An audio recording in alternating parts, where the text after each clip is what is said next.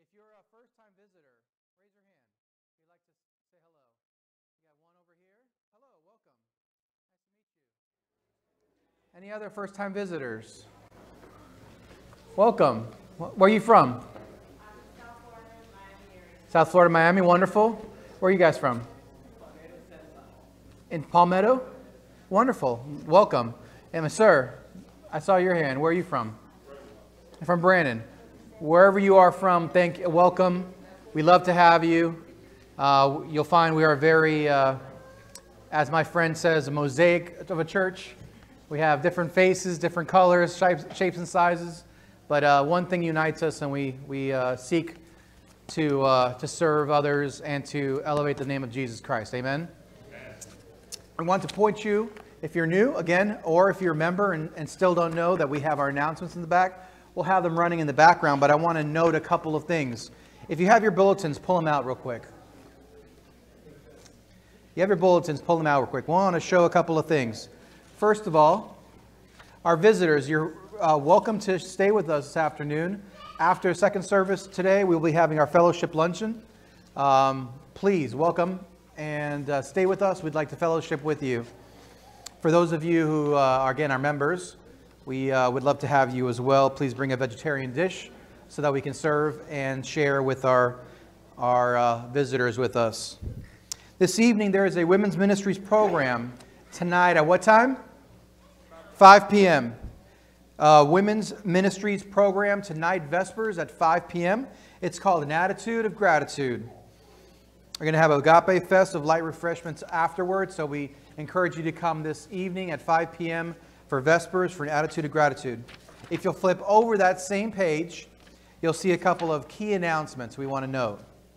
Number one, tomorrow, Sunday, we'll be having our annual, uh, our newly annualized, if you will, since we have a new school, our Brandon Christian School Fall Festival will be tomorrow from 11 a.m. to 4 p.m.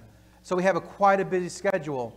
We have a uh, Adventist school here that our church uh, is supporting, along with our high school up the road. We also have our community elementary school, Brandon Christian School, and we're going to have a, fan, uh, a fall festival tomorrow from 11 to 4. There's going to be games, there's going to be refreshments, there's going to be food, a lot of things to do, from what I understand. We would, if you guys have seen in the back, there's a bale of hay already here. I'm sure that's going to be a fall festival theme. Looking forward to it. 11 to 4 tomorrow. Also on Thanksgiving Day, Thursday, Thanksgiving Day, raise your hands if you have a family in your mind right now that might benefit from a Thanksgiving lunch or dinner. Maybe they don't have the means. Perhaps they're alone. Perhaps, perhaps someone's homeless.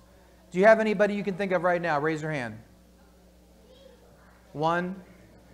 All right. Perhaps we're a, a little, uh, embarrassed, but I know there's more than one family that you guys can think of. We have had for the past several years a Thanksgiving festival that we serve the community to our homeless, underprivileged, underserved, or those who don't have the financial means to, to have a Thanksgiving meal. We have, a, we have meals prepared for you that we will be sending to your friends' homes. They can come here and be served just like a traditional Thanksgiving meal. We have different variety of ways we would just basically love to fellowship with them and tell them that we love them during this holiday season. Uh, unfortunately, suicides go up during the holidays. Did you know that? It's significantly. Why? Because people feel alone, right? We want to be able to be that, that healing, that healing balm, if you will, for those who, who feel like they're lonely. So again, this Thanksgiving, if you're not doing anything, please come and be, and be a volunteer. Or if you know of any family, please let us know in advance, and we'll be willing to even pick them up and bring them back to the church and have a Thanksgiving meal with us. All right? Last, lastly, couple, a couple, uh, two last points. We have in the back um, a collection box for our Echo ministry. Echo is a local homeless ministry that we partner up with, and we are collecting boxed cake boxes, uh, cake mix. Uh, you can go to Winn-Dixie, you can go to Publix or any other grocer. They often have them BOGO, buy one, get one free. We're collecting boxed cake mix. They only cost, I believe, like $1.29. I don't think it'll hit your pocketbook too harshly. And you could buy a couple of them. Right now, we have 114 boxes collected of our 400 that we are trying to gather. And we're doing that before the holidays. So if you can, next time you go to uh, the grocery store and pick up some groceries, if you just plop a couple in your uh, grocery cart and bring them here, and by the time Christmas comes around, we'll be able to give that to the homeless ministries. With that, we'd like to invite you right now for our, our children's story. Miss Nawatney will be uh, giving that children's story. Thank you so much.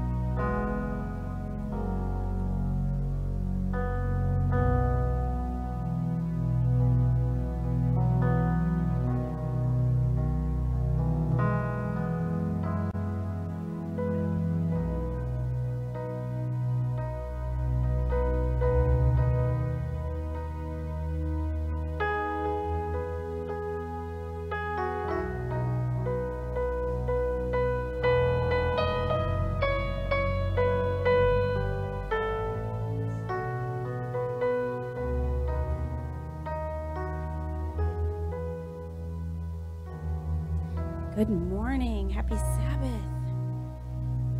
I've got something here with me, and I'm hoping that you guys have seen one of these before. What is this? Anybody? It's a stool, and if you're really short like me, a stool is good because you can just get right on top. And if you can't reach something on the top shelf, this will help you out. And this stool at our house was also used for another purpose sometimes I have two children, and sometimes they needed a time out. I know that didn't happen to too many of you before, but sometimes it happens at my house that one of my kids might start saying, No, I'm not going to do it. Ah, I'm not going to do it. Does that sound familiar? Parents? Yeah? Well, when that happens, I have to take them by the hand and bring them over here and say, You're going to have a time out. Sometimes it gets so bad that they're on the floor kicking, screaming, ah! And I have to go and scoop them up because they won't come and bring them to the stool and set them down and say, You're having a timeout. Well, is a timeout a good thing or a bad thing? I hear my daughter thinking it's a good thing, so I will remember that. Um, well, in the in the Bible, did you know that there were people that had to have a timeout? And sometimes it was even adults that had to have a timeout. And I'm thinking of a story in the Bible where there was a prophet of God who needed a timeout because God told him to do one thing, and guess what? He did the opposite. And God didn't take him by the hand and bring him to the stool and say, You're getting a timeout. Oh, no. He sent a big fish and it swallowed him up. And he was inside that big fish, and I know it was stinky and nasty and slimy down there, much worse than the step, step stool here. But he needed a timeout. And do you know who that was? Who was that? Jonah. That was Jonah. Good job. But you know what? After Jonah got out of that whale, he decided that he needed to listen to God, and he went ahead and did what God said. There was another time in the Bible when almost all of God's people needed a time out, and there were thousands and thousands of them. And this is the longest timeout I've ever heard about. It wasn't just five minutes, it wasn't five hours, five days or even five years. Do you know how long that was? It was 40 years. They were so disobedient that God made them go around in the desert for 40 years before they were ready to listen to him. That was the Israelites. And then there was another man who did not like Christians. And in fact, he would go out hunting for Christians and he wanted to hurt them, sometimes even worse. And so one day he was on his way to find some Christians. And guess what happened? It, wasn't Daniel, but that's a good guess. From up above in the sky, he heard his name and he heard somebody say, Why are you hurting my people? And God made him go blind and stay at somebody else's house that he didn't know for a few days in a time out. Does anyone know who that man was? That was Saul. And later, Saul, while he was there, he had some time to think. He couldn't seek, so he couldn't do very much. And he was in his time out thinking about his life. And guess what? When he was done with his time out, he was ready to serve God, and he became one of God's most um, special helpers, and he made a lot of people become Christians because of the things that he was saying and doing um, after that. Sometimes we need a timeout, not just from mommy or daddy, but sometimes we need a timeout to remember that Jesus wants us to do things for him too and make good choices. Um, as we, um, how many of you would like to follow Jesus in everything that you do? Do you want to follow Jesus? I want to follow Jesus too uh, as we pray, let's close our eyes and we're going to ask Jesus to be in our hearts so that we can do the things that He asks us to, to do and that we won't have to have a big time out like some of these people in the Bible. Can we pray? Dear Jesus, thank you for this day. Thank you for these children. And I pray that you will be with all of us, the adults and the children, and help us to follow you so that we don't have to have that giant time out like some of those friends in the Bible. And we pray that you will bless us today on this Sabbath. Amen go back to your seats.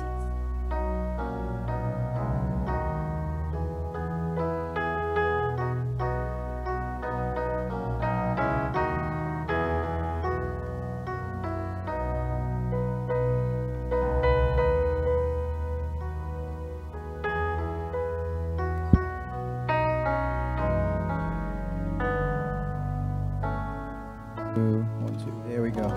Real quick, before we start our praise and worship, remember, if it, I apologize, we have adventurers today. So if you are the age of five all the way up to fifth grade, we invite you, invite the kids that were just up here, we invite you to go back to the youth building and we have a program for you. All right? Thank you so much. Praise and worship. Awesome. Good morning, everyone. You know, I really think that they do it on purpose. I really think they do. Every time I come up here, I say good morning, and five people will answer. I'm like, there's at least over 50 people in the church. So let's try that again. Maybe if I say happy Sabbath, that might be different. Because some people are not morning people. Okay, all right. Happy Sabbath, everyone. So much better. For a minute there, I thought it was just us that were in here. Because I was about to say, oh, singing for an empty church. My gosh. I might need to get my glasses fixed because I'm seeing people, but I just can't hear them. All right, it is time for our praise and worship. But before we do that, I think that it's only well that we get up and say hi to each other. So I'd like everyone to get up of your feet, give you all a couple minutes, and I want you to go across the sanctuary and go say hi to someone, please. Thank you. Good morning, high five, a hug, a fist bump, an elbow bump if you don't want to touch them. Say good morning. Thank you.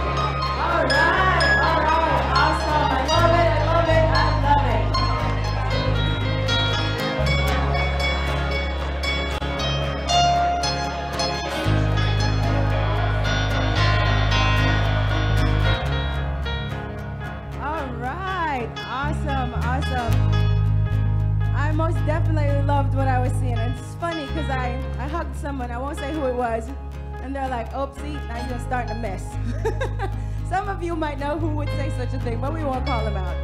Oh, I just said a him. Hmm. Might be too direct. All right.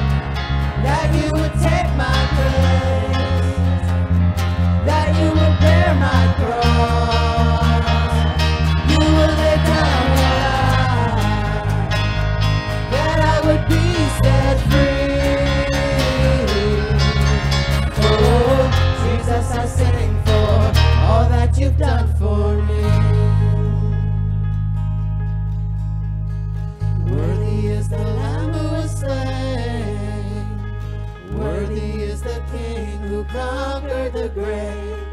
Worthy is the Lamb who was slain. Worthy is the King who conquered the grave. Worthy is the Lamb who was slain.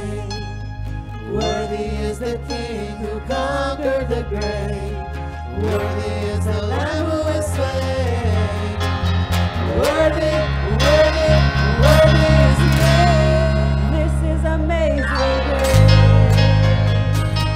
It's Sexta-feira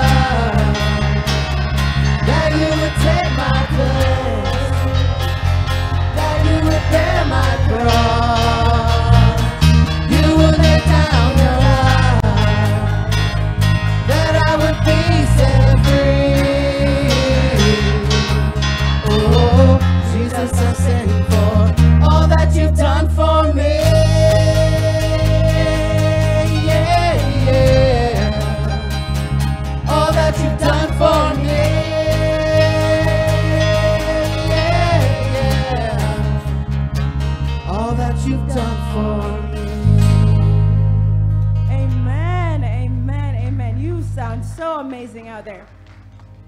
uh, our next song is You Are Holy. I really like the song. It's so much fun. Um, and we've done this quite a few times. So ladies, you got to remember you got to sing with me and Wendy. And gentlemen, you have to sing with Rhett. Sorry about that. All right.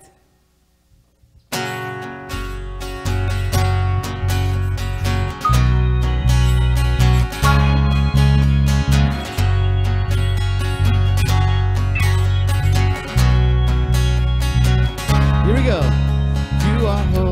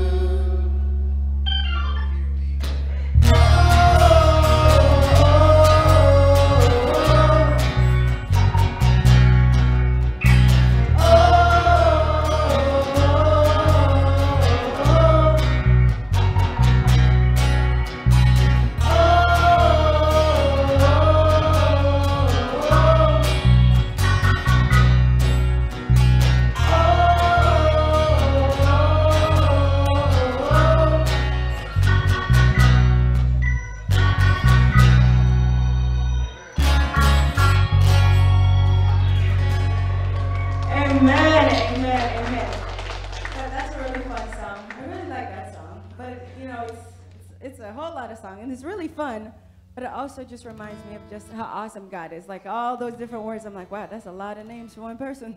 But it's amazing to know that God is that one person. Our, our next song is "When Death Was Arrested." Um, and when I first read that, I'm like, "When Death Was Arrested? How does that even work?" That's one But- mugshot that someone would like to see. so true. But then after I, you know, going through the words of it um, and listening to the song, I realized it's talking about that because of God's grace, we don't have to worry about death. We just have to worry about resurrection when God comes back and gets to take us home with him. So this next song is When Death Was Arrested.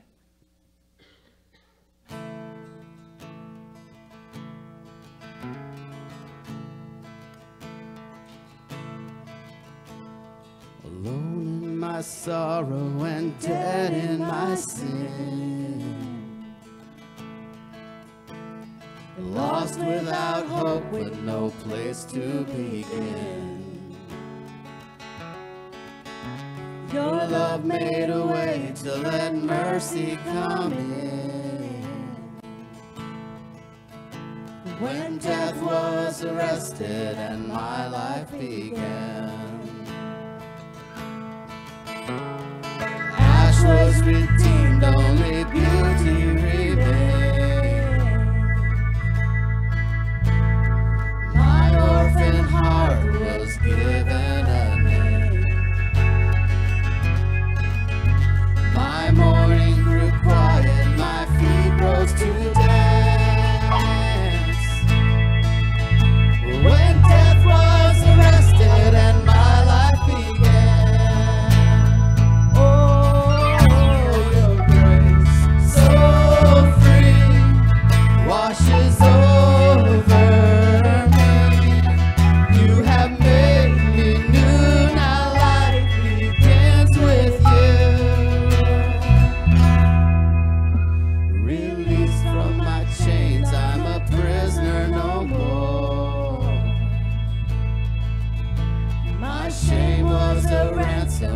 faithfully bore. He canceled my death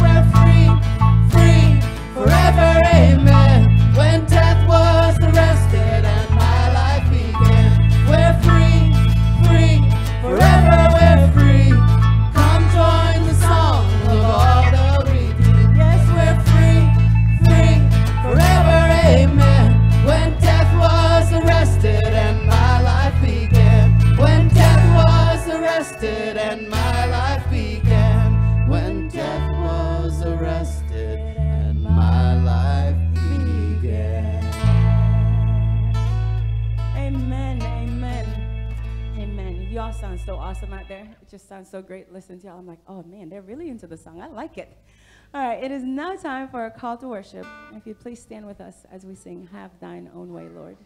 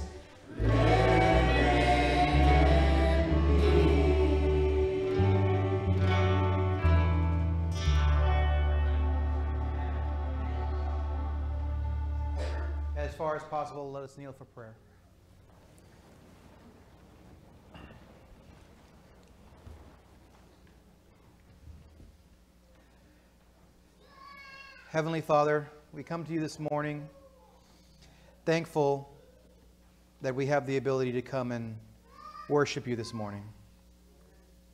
Lord, thank you for getting us through this week, for getting us to this place where we can come to you as fellowship of believers and uh, let you know that we, we thank you so much for the many blessings you have given us. Many of us come with burdens on our hearts and troubles on our mind, and we ask you to send the Holy Spirit to lay those aside for this morning. May we have a, a spirit of thanksgiving and a spirit of focus on you that is able to take the work away and health away and life away at least for the Sabbath day, so we can focus on you and have a closer walk with you, Lord. Many of us here come again sick. Perhaps we have loved ones who are failing in health. Perhaps we ourselves are failing in health. And we ask you, Lord, to, to send your Holy Spirit. You promised that you would send the Comforter to comfort us and to help us through our time of trouble. Help us use this opportunity to, to grow closer to you, Lord. We realize that we don't have all the answers here on earth and we don't know why things happen all the way that we do, but, but all in all, Lord, we just trust in you. We just trust that you have these things worked out for the good of those who love the Lord, where we, we claim that promise this morning. We have others who are here who have financial burdens. We ask, Lord, that you would help us through this time of trouble, whether they be financial because of a job, perhaps we've been let go or perhaps we're in a job that is underserving us and we feel unfulfilled. Lord, we just ask you for us to perhaps put our will in your hands so that we can figure out exactly what you would have us do. Lord, we pray for those who don't have as much as we do, especially during this holidays, which reminds us of all the many blessings we do. And we gaze and put our thoughts on those who are in California right now, who have lost so much.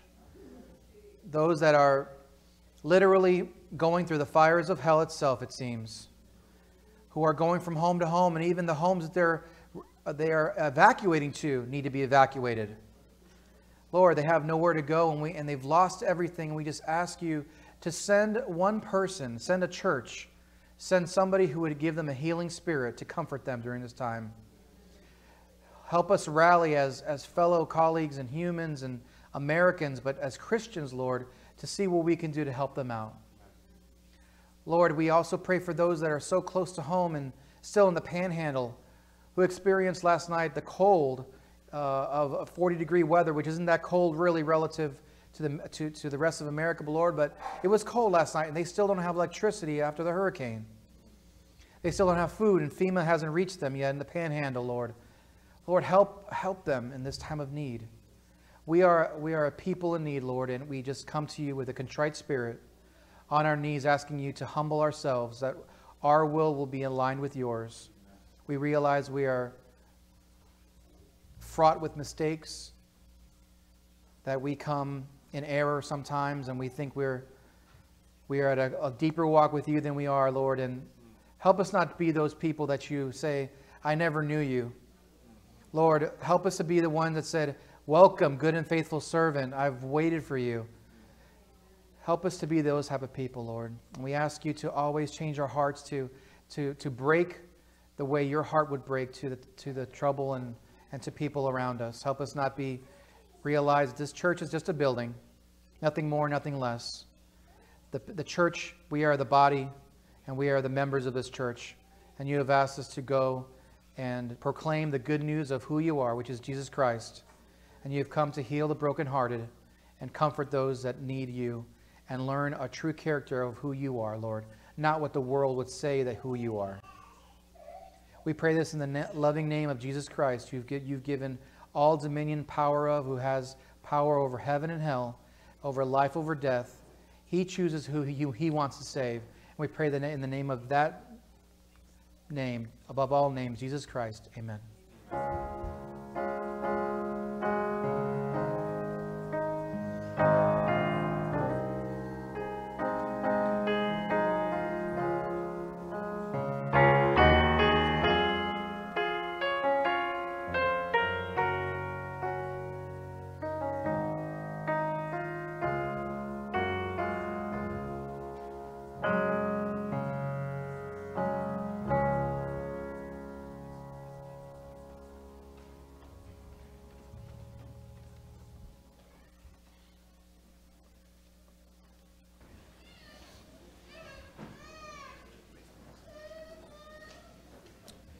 It is my privilege and honor this morning to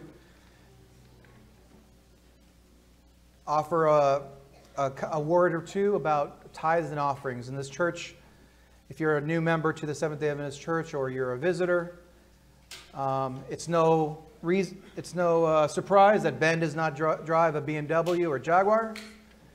He drives a, a, a nice car. Nice truck, nice truck, but you paid for it yourself none of the monies here at the church are collected. The churches we have here, we send off to the SDA church to help with people, what we're just talking about, with our missions overseas, amen? With the people that need it more than we do. We, we do, however, keep money here for offerings to keep the lights on, the electricity on, the heat, and more importantly, to offer our monies to the community where it's needed, uh, where, where the needs see fit, and homeless ministries and whatnot. And so we ask you to keep in mind as you give this morning to the Lord. We ask the deacons to come up.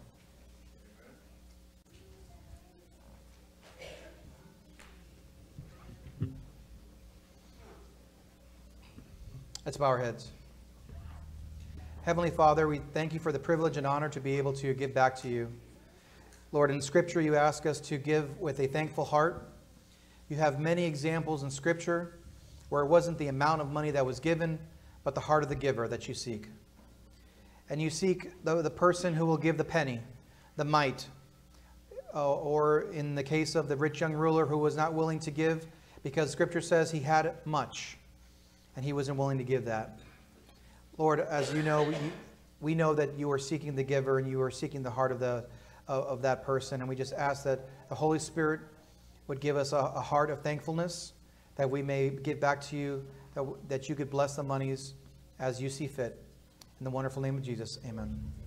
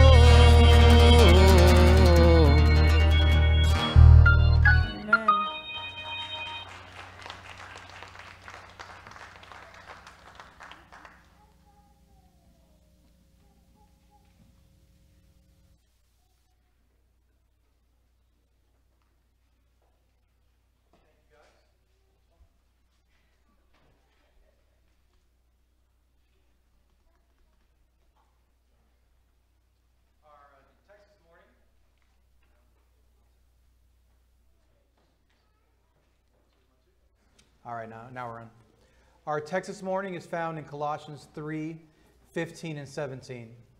Colossians 3 15 and 17.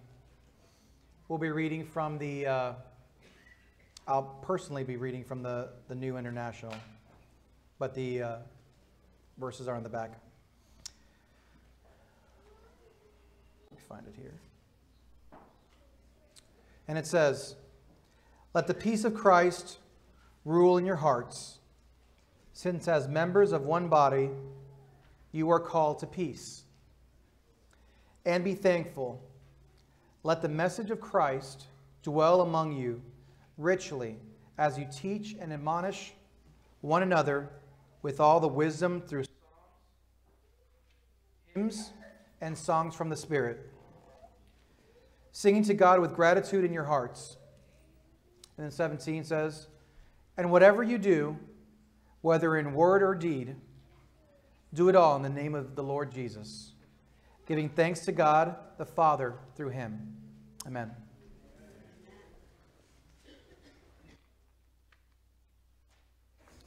Good morning, church family. Happy Sabbath. Happy Thanksgiving this coming week. How are you? You blessed? Do you, I feel like our minds would explode if we understood all the things God has done for us this week. If our eyes could be opened to everything God has done for us, we would just, we wouldn't be able to handle it. We wouldn't have the time. Um, and it would probably shock us. Church family, I want to talk to you for a moment about something I'm very, very sorry for. Last week um, was the closest weekend to Veterans Day, and none was, there was no word, nil, nothing was said the weekend closest to Veterans Day. So today, even though this is the weekend after Veterans Day, I would like to ask all of our veterans to please stand and can we recognize their sacrifice and service to our country?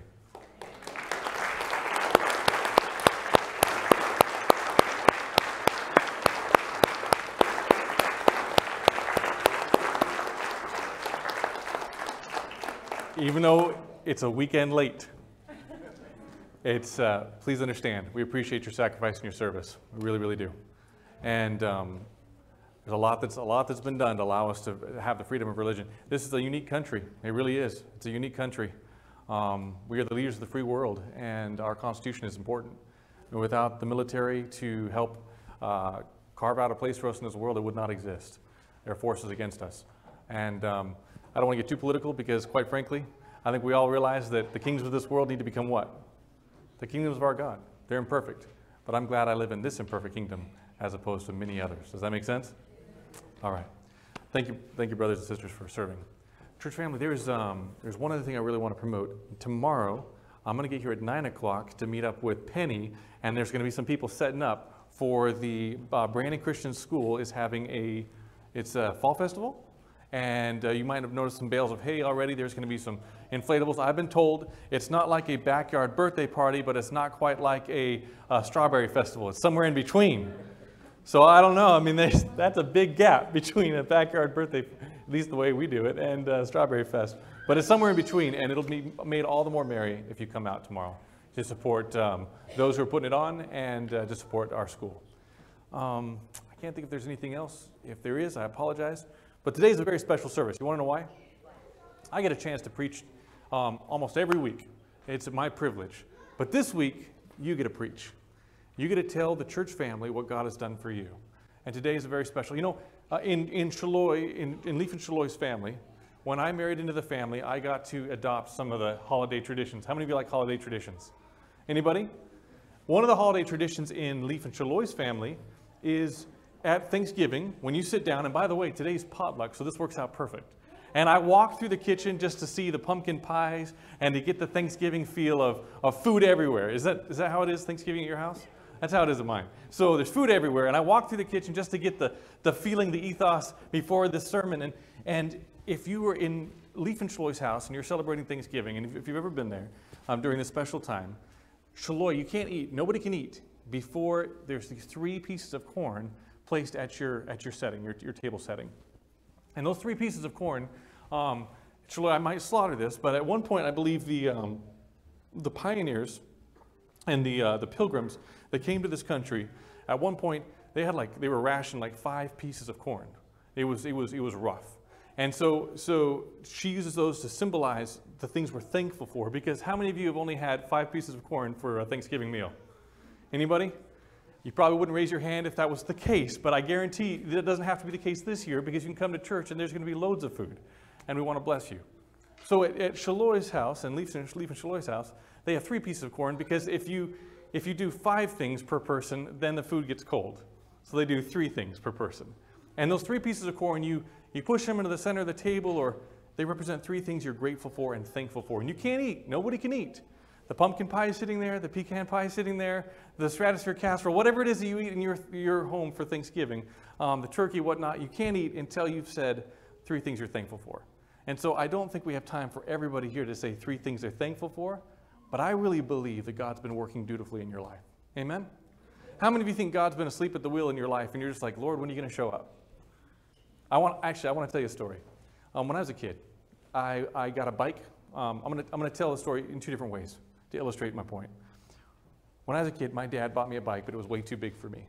And, and when we put it together, we didn't put the brakes together properly so that when you braked, it didn't really stop the bike. It wanted to stop the bike, but it, it couldn't. And one day we went out on a, a rails to trails trip. And, in Utah, they'll have these huge sections that used to be railways, but they've turned them to trails.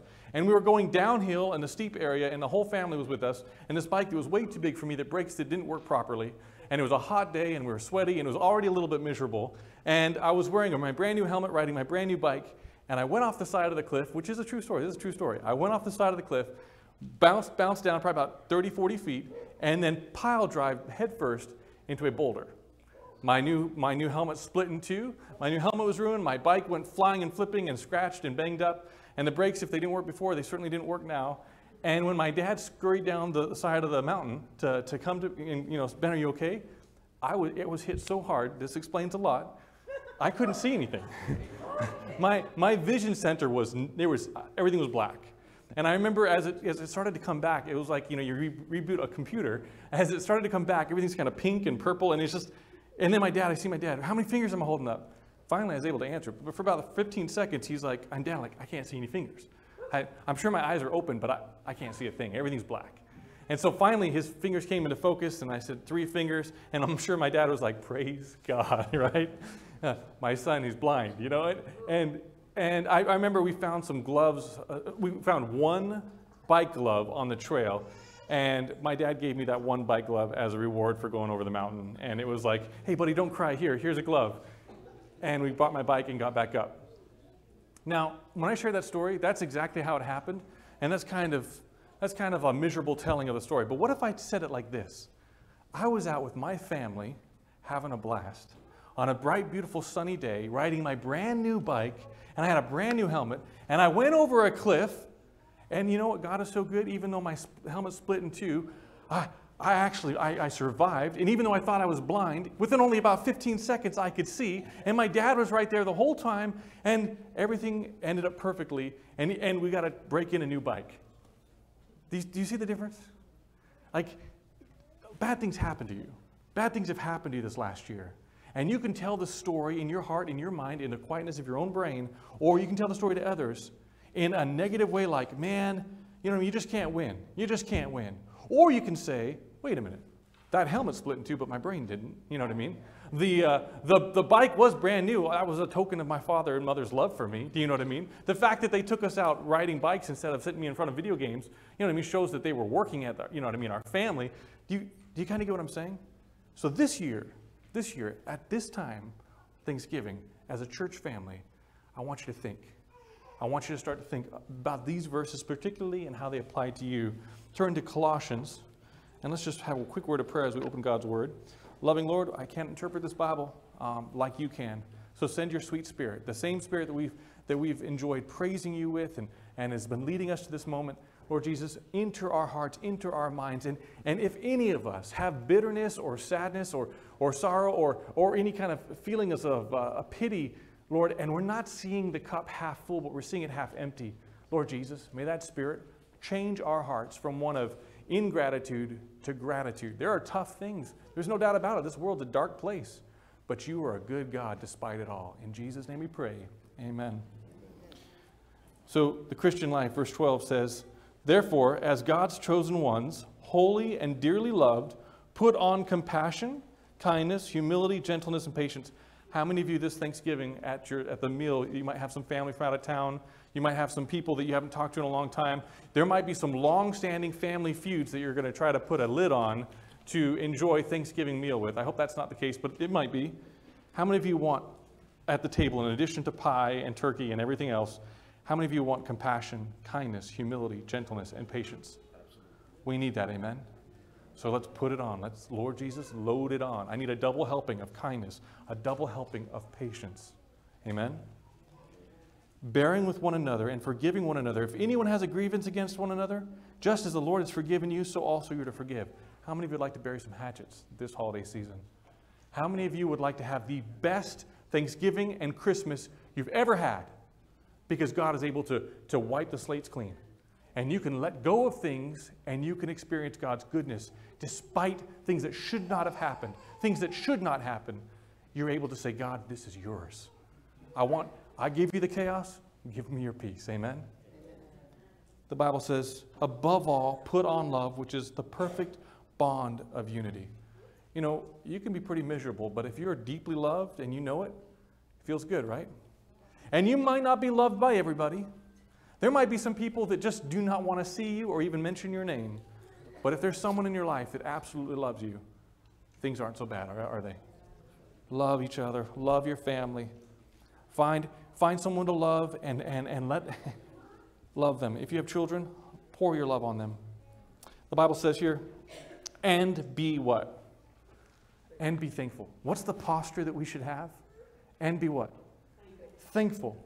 Now, someone says, Pastor, you don't know. I've had a year. I've had a year. It's been one thing after another. How many of you feel that way?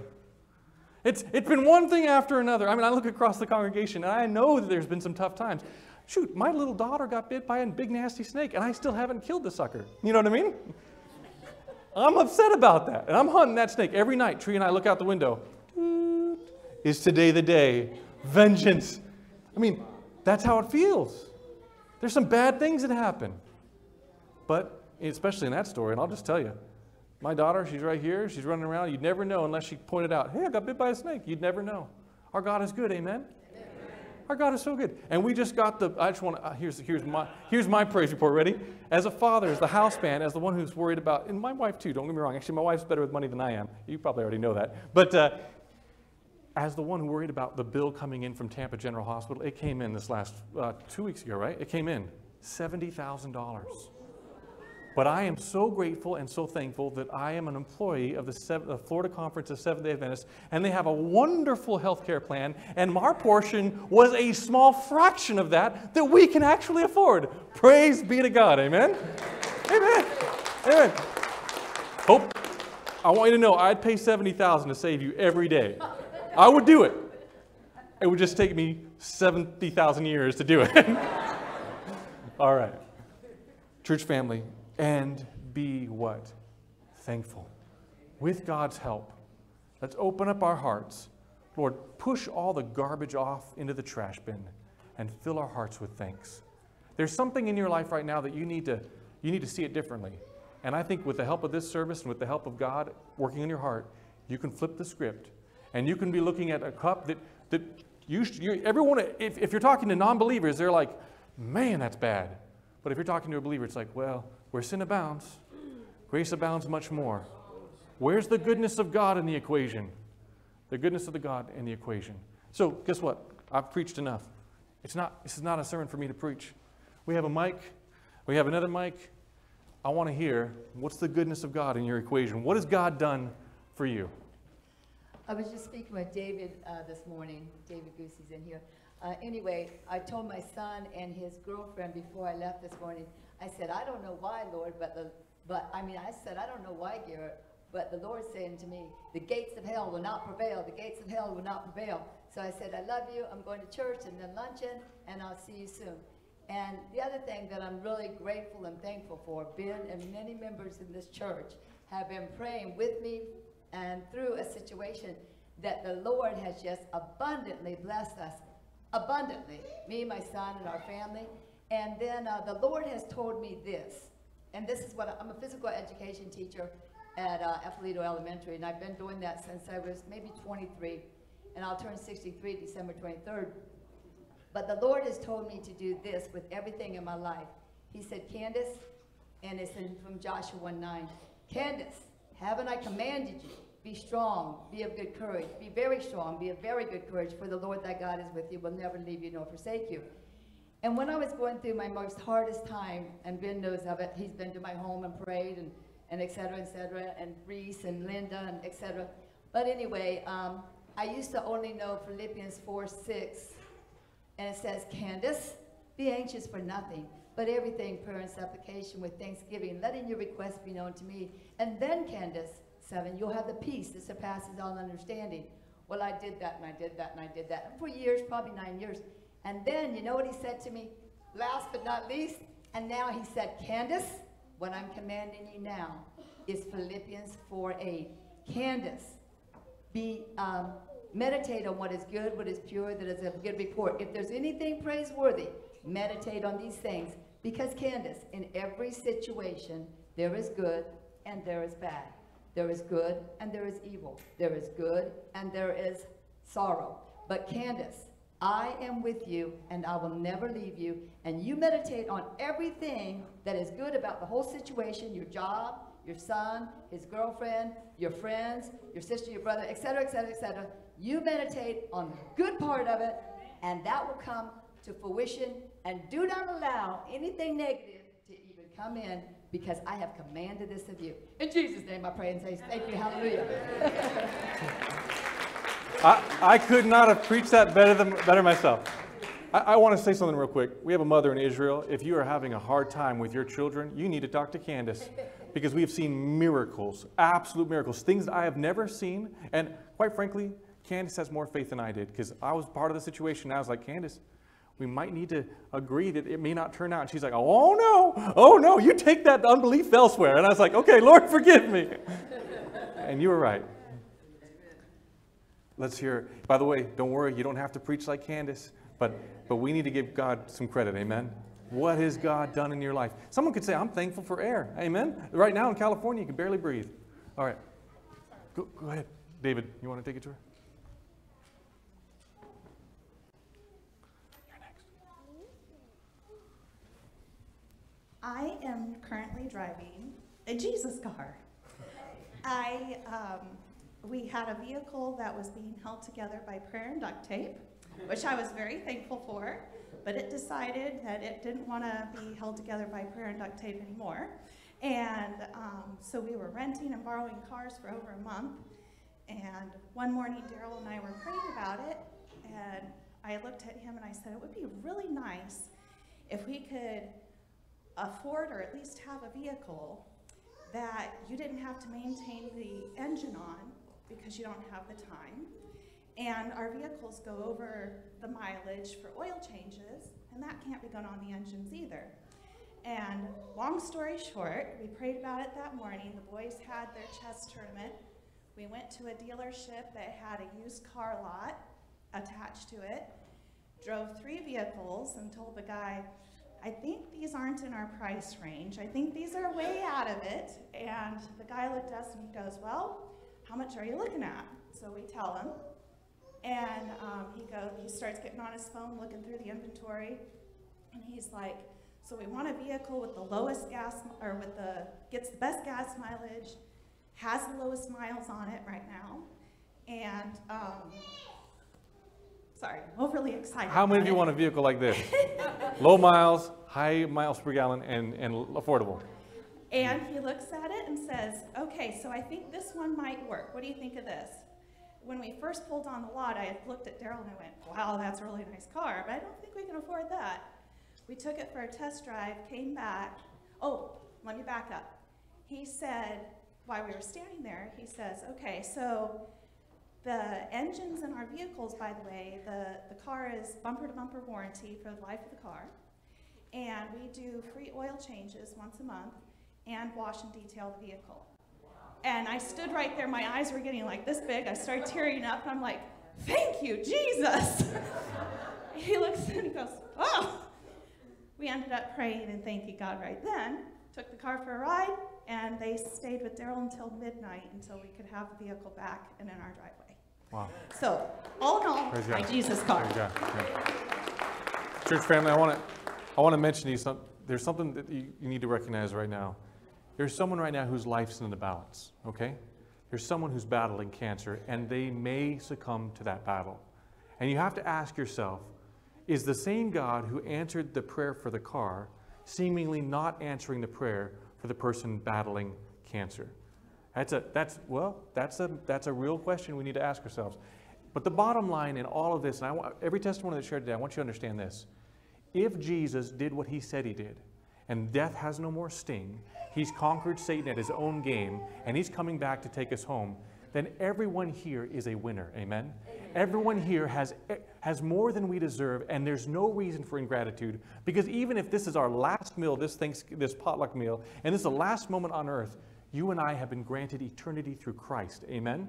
And everything else, including Jesus cars, are absolute cherries on top. I want you to think about that. Okay. So there are days when I wake up on Sabbath morning and I go, I, I don't feel like going to church today. What if I just stayed home? And, uh, and then I said, no, I need to go. And then I go, and then I have my church family here. And I have my sisters and my brothers and the young adults and the people that I meet. And at the end of, at the end of the day, when I go home, I go, I love my church family. I love all of you. And each Sabbath when I come here, I go, this is, this is the thing that makes me want to go on, is that I have people that I interact with, that I love, that I, that I worship with, that we worship together. Some of us are, some of you have darker skin than me, some of you have lighter skin. A few of you are heavier than me, a bunch of you are skinnier than me. some of you are older, some of you are younger, and I just love you all. And, it, uh, and I go home and, and, I, and then I come here and I worship God with you, all of us, this mosaic of people who are worshiping together, and I just feel blessed. You, And so you telling me you're thankful for your church I'm family? thankful for my church family. Amen. Amen. All right, go ahead, sister. I'd just like to thank God for being so, uh, what a wonderful blessing with all the traveling that my family does. I mean, all four of us do a lot of traveling. And the Lord has just been so wonderful, and um, He has protected us through all these years. And our cars just seem to go and go and go and go and go. So if you're not a tither, be a tither because He just does bless. And like to thank the Lord for the finances that He has provided over the last four years uh, to get our girls through college. And uh, they're both done now, so I'm just really thankful for that. So finances have been a huge blessing. Thank you, Praise Lord. God. So we're going to let Uncle Ray speak, and then we'll go, come to Tiger. Oh, look at this. Ladies first. Ray, a scholar and a gentleman. Hi, my name is Tiger, and I was in Desert Storm for eight years. And when the war is over, they put all the dead soldiers in a box where they can go home and have a proper so, uh, funeral with her family. I had five dead soldiers on top of me, and my family prayed. And when they lifted that five dead soldiers up, I grunted and I woke up in the hospital. I was also in a, a bomb shack. Wow. So you may not know Tiger. This is Tiger. Tiger Wilson. We're so glad you're here. Um, Tiger had, I think, some sort of IED uh, in her in her time uh, as a veteran, and uh, she's with us today. Praise God. Thank you for your service.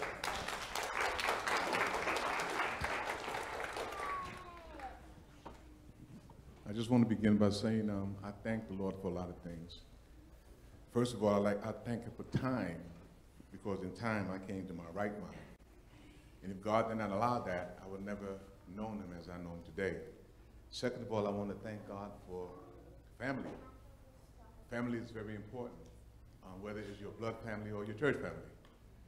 And um, God, through Jesus Christ, um, He shared how we should live and how we should love one another, no matter what. We should be looking beyond each other's fault and meeting each other's need, but I'm still struggling with that. But anyway, I want to thank God for conquering death.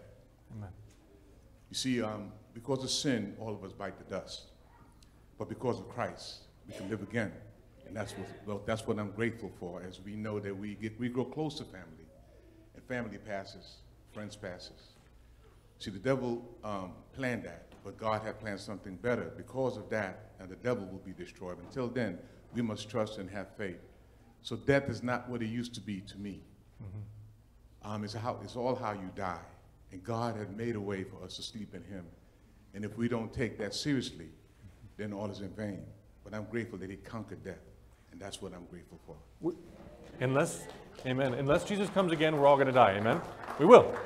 We're all going to die. But are we all going to die well in Jesus? That's the key. If, if you die in Jesus, it's, you're sleeping. You're sleeping until he says, wake up. I just wanted to share this story. I mentioned it to my class about two weeks ago.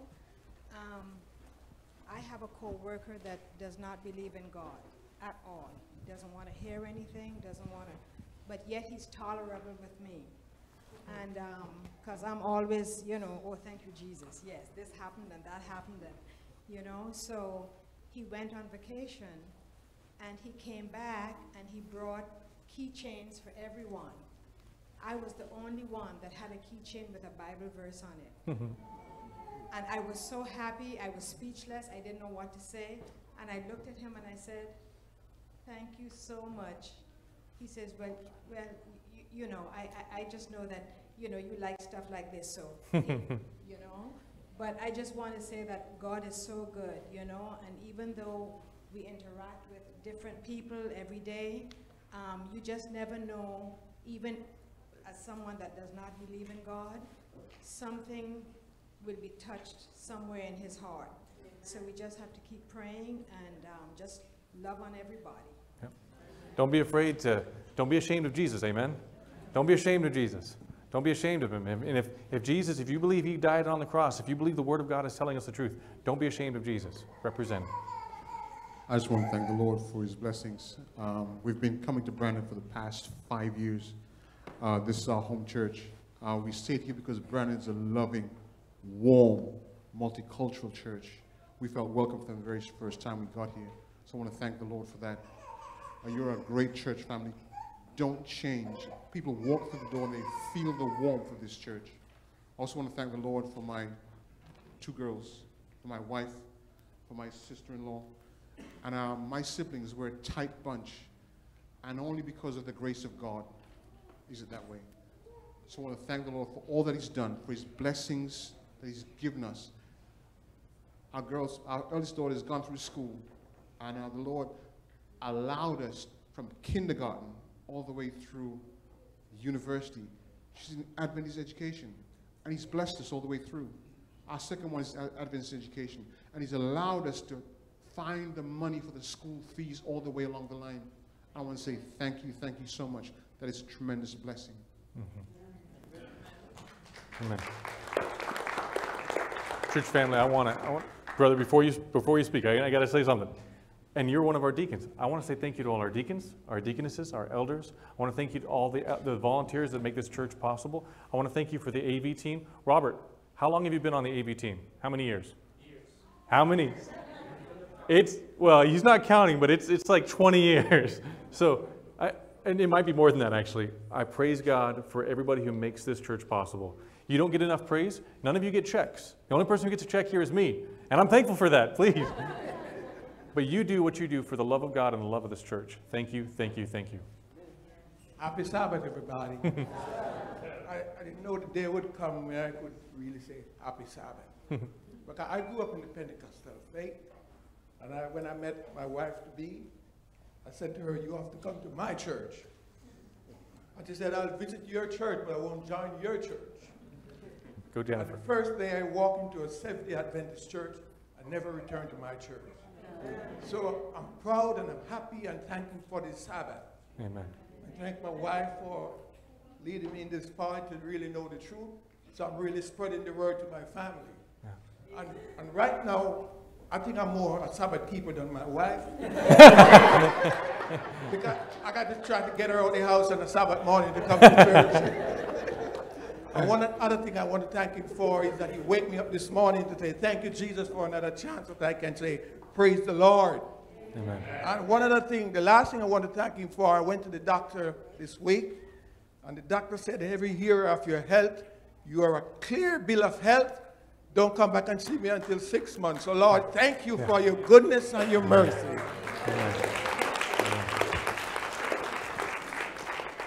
So, so something we did in first service we need to do in second service. When you when you stand up, say your name and how long you've been attending this church. Because folks, if you don't know him, that's Al Bundy, Al Bundy, Al and Jennifer Bundy. So, and they've been with us since Pastor Frost. So praise God. Go ahead, brother. Oh, oh, sorry, Tom. My name is Tom, for those of you that don't know me.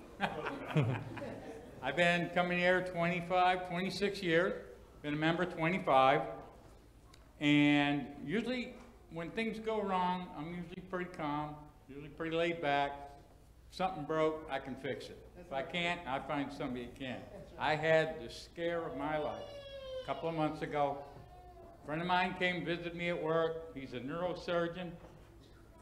I respect him a lot. I work on some of his old cars. And I told him, I said, you know, my wife can't lift her arm. And he said to me, he goes, well, does she have high blood pressure? And I said, yeah. Sounds like she has stroke. Hmm. And I'm like, oh my gosh. And my guys were, were standing there when he said it, and he says, where do you live?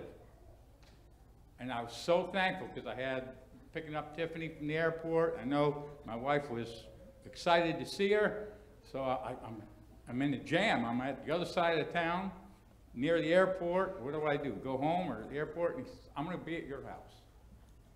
He went to my house with his doctor's equipment, checked her all out, and he, her blood pressure was 200 over something around 84. And he said, I could admit her right now.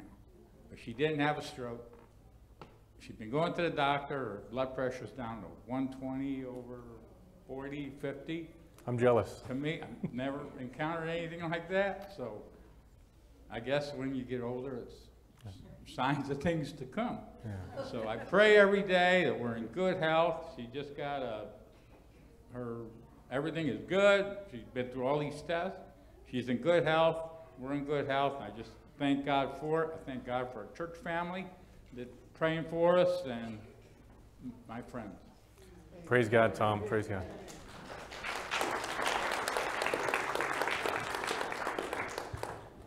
Hi, my name is Jamie Montes de Oca from Venice, Florida. I visited a few times. Just want to, the Lord put in my heart to say that um, um, there's a lot more positives in the, in the world.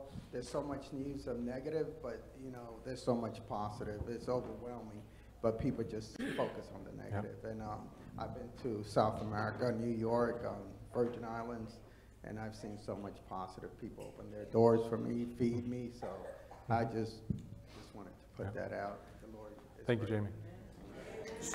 So on that note, on that note, um, Jamie, you said you've been to South America. There's a lot of positives. If you go overseas, if you've ever been overseas on a mission trip or you just, you know, you're visiting or a tourist, you'll see kids kicking around a, uh, a soccer ball made out of uh, t-shirts that have been wrapped together. And those kids are happy. They got nothing. Um, and, and I'm not even sure if they're being well fed. They probably aren't. But they're happy as can be. And then you come here to the, to the United States of America and you spend a bunch of money on a gift for your kids on Christmas and they're like, oh, you know, listen, gratitude is not about a wealth of things. It's what's going on inside the heart. Amen? And, and I, I think what we need here in this church, what we need in every, what everybody needs in the world is, is eyes to see what God is doing, hearts filled with gratitude. If that's what this world needs. And this season, this, when you sit down at, your- at Thanksgiving dinner, Christmas dinner with your family, be the most thankful person at that table. Amen? Don't put it on. Let God just fill you. Let Him open your eyes to all the good He's doing for you. And just beam and radiate the love of God. Amen? We got a hand. Where's the hand? Leslie. Happy Sabbath Church. My name is Leslie, and I've been coming here for two months. and about a week and a half before I, we moved here, uh, I was at an event in Franklin, Tennessee, and I was having a conversation with my wife on the phone.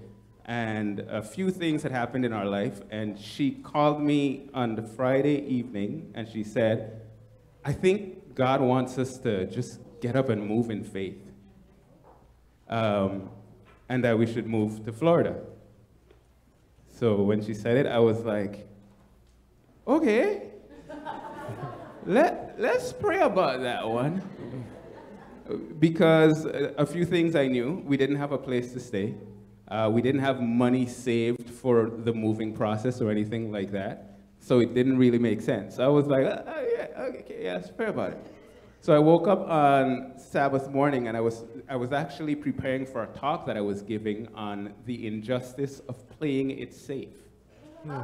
And as I was preparing for this talk and I'm looking up these different examples just over and over, I'm hearing this thing in my head like, look at you, playing it safe, talking about the injustice of playing it safe.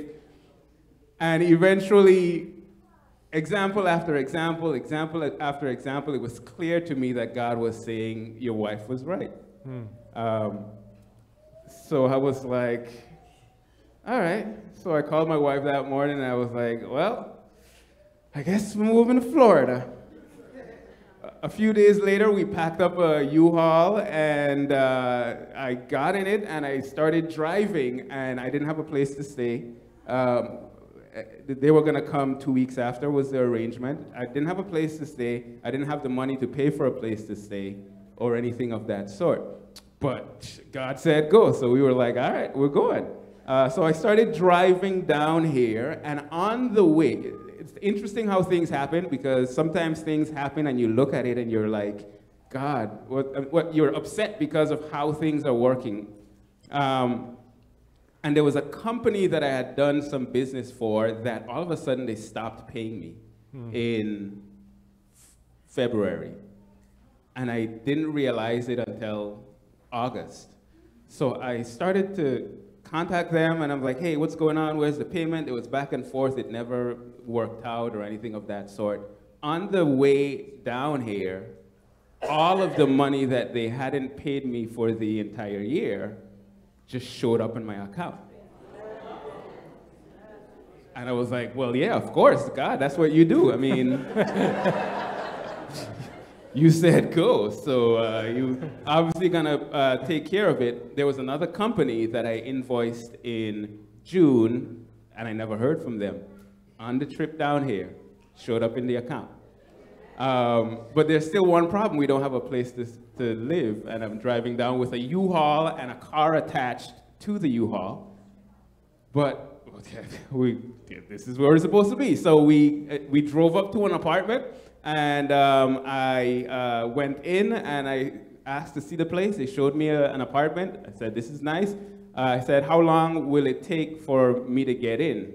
And she was like, well, it could take 24 to 48 hours. I was like, well, well, we need it faster than that. My truck is out here, and I need a place to put everything, and you know, I need a place to sleep.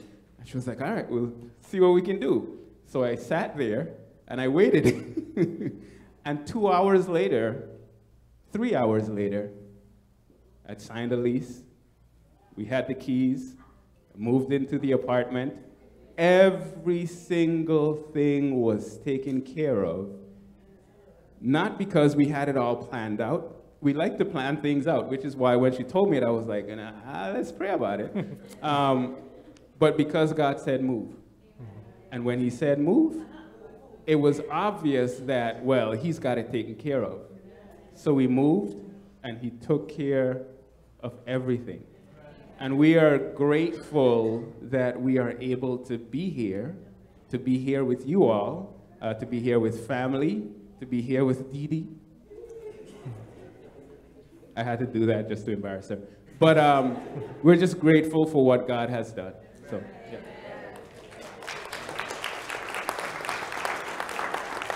That, that is a powerful testimony, amen.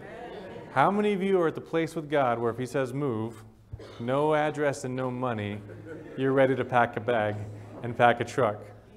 Praise the Lord. You guys, you, praise the Lord. Sister, go ahead. Well, I'm just so thankful to God for all the things that He's done for me. When I look back at places I w- was in, things I was doing that I knew I shouldn't have been doing, but I had rebelled from the church. Well, first I married someone who was not in the church. Don't do it, John. Don't do it. Listen up, do it. listen up, listen up. I'm serious. I'm serious. It's a heart attack. And speaking of heart attacks, that's another portion of my. Uh, but anyhow, um, I um, was on a plane to come here to, to Florida to visit my daughter. And all of a sudden, there was a vice in the middle of my chest. And it grabbed my heart and squeezed it, and I could hardly talk. Hmm. But I was able to tell the lady next to me, get somebody, find a doctor, something. Um, they came and they took me, carried me back to the back of the plane, laid me down on the floor, and two gentlemen who I call angels, I guess they work for the airline. I don't know now who they are, were, or what their names were, but they stayed beside me, one on each side, for the rest of the flight as I laid flat on my back. I got, um, they brought me into uh, the airport. I'm sorry, yeah, the airport here. And my daughter, by this time, they had contacted my daughter who lives here. I was coming here to visit her. And um, the same time the ambulance got me to the hospital, my daughter pulled in right next to them. I say all of this because I know that none of it was an accident. God guided every step of the way, or I would have died. Um, I had driven to a, a car place um, to leave my car there. I had uh, gotten in the, the little van to go to the airport, which is, was quite a few miles away. No problems. Had walked through the, the airport, no problems, gotten on the plane, etc. And nothing ever bothered me until everything was settled, we were in the air.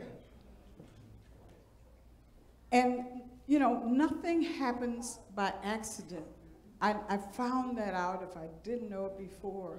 God had a purpose and a plan for me, and it was not to end my life that mm-hmm. day. And I thank Him for each and every day. And I have two children. I have a son and a daughter. People often say, I never hear you talk about your son. But she does so much more than I could have ever expected my child to do. And I, I just thank God for the things that he, the people that he has put in my path. And I, when I got here, I visited a couple of churches, and they were very welcoming. But when I got to this church, and we, I, you know, I said, okay, I'm not, we're not, I'm not going those churches. So we looked in the book and we found this church. And I went online and I saw some of the little um, uh, things, the kids up at story time and so forth and so on. And I said, I think, let's try this one. And I have to say that if, you know, it's like it's going to be in heaven. Amen. Everybody in heaven ain't going to look like me. There's going to be white folk, black folk, all colors, just like God planned. Not any of us planned our lives. God has a purpose and a plan for each of us. And I am so thankful to him that he sent me to this church. We are too, Mary. We are too. And, um, and if, if anything happens, y'all make sure that they know that I belong to this church.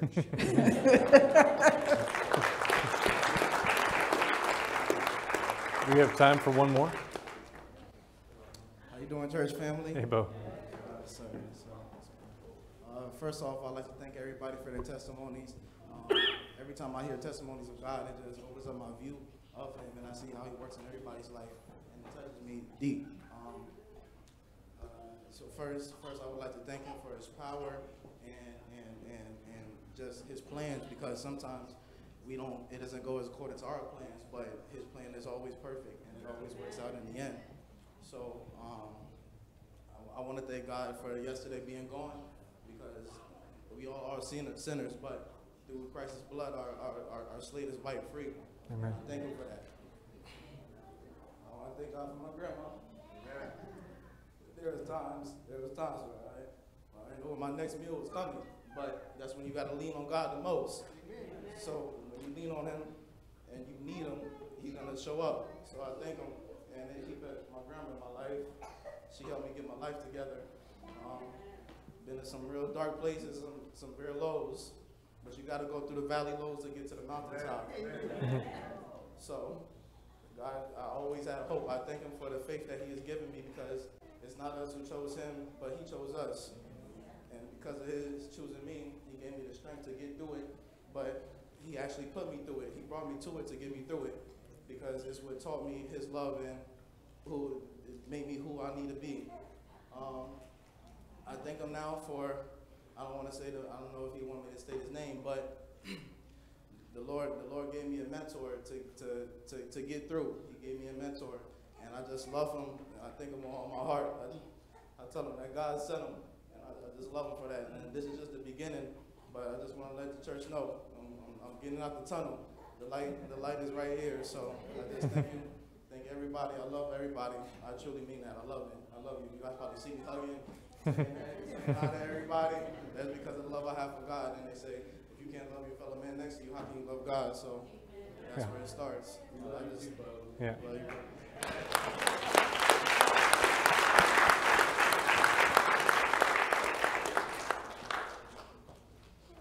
I think, I think we need to wrap it up because how many of you guys are hungry?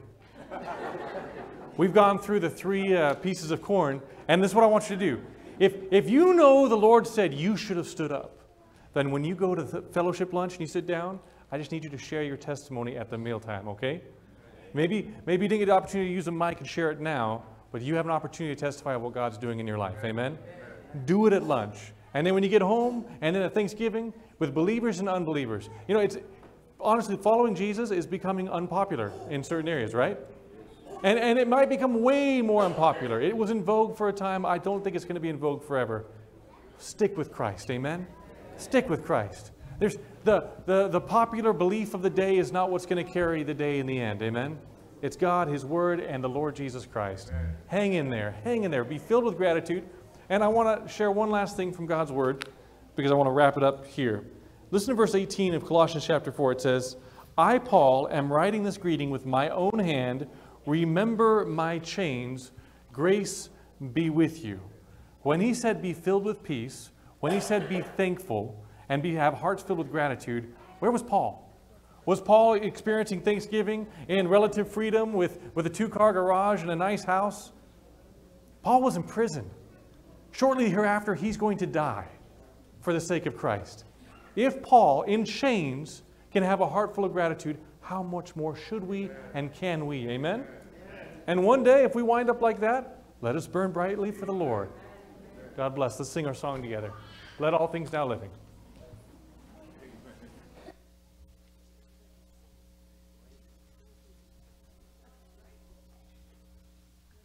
It is time for our closing song, Let All Things Now Living. It is found in hymn number 560, or the words will be up there.